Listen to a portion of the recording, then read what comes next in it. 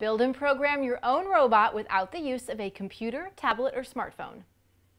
Hi, I'm Laurie from TTPM. With the Kibo 21 Robot Kit from KinderLab Robotics, kids get the pieces they need to build and decorate their very own robot, and then scan barcodes on a variety of wooden programming blocks to make the robot move forward, sing, light up, and more.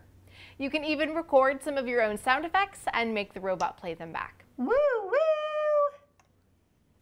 Once you choose the motors, wheels, and sensors that you want to use on your robot, put some of the programming blocks together so you can create a sequence for your robot to perform. The battery-powered robot has a red LED light that scans the barcodes on the blocks one by one, and when it's done scanning, you press the triangle button to make the robot perform the entire sequence.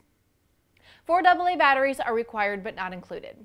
There are also pieces for decorating the robot, including a stage, a flagpole, and a whiteboard with marker. There are many ways for kids to get creative with this set, and young kids will like exploring all the things they can make their Kibo robot do.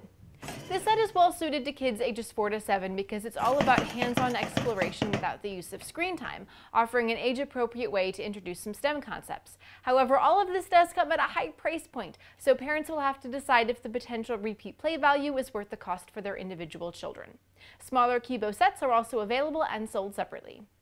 For where to buy and current prices, visit TTPM and subscribe to our YouTube channels for more reviews every day.